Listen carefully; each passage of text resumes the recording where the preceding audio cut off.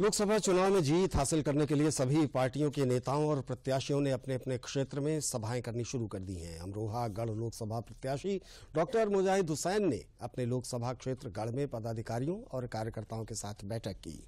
प्रत्याशी ने लोकसभा चुनाव को लेकर अपने पदाधिकारियों और कार्यकर्ताओं के साथ चर्चा की और बसपा के पक्ष में वोट करने की अपील की। बैठक के साथ बसपा प्रत्याशी डॉक्टर मुजाहिद हुसैन ने अपने चुनाव कार्यालय का उद्घाटन भी किया।